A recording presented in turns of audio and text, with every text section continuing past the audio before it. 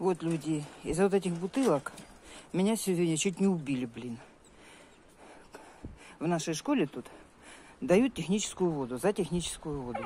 Я думала, меня там и разорвут. Вот честно, блядь, до чего мы докатились уже? Кричат, 50 литров. На 20 литров больше вот здесь. Бутылки по 5, по 5 литров. 14 штук здесь, 70 литров. Я думала, за 20 литров меня уроют там. Я вообще, я в шоке.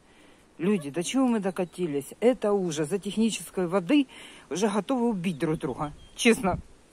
Разревелась. Мне было обидно.